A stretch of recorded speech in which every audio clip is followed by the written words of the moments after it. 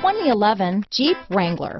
Few vehicles are better off-road than a Jeep Wrangler. This is the one that started it all.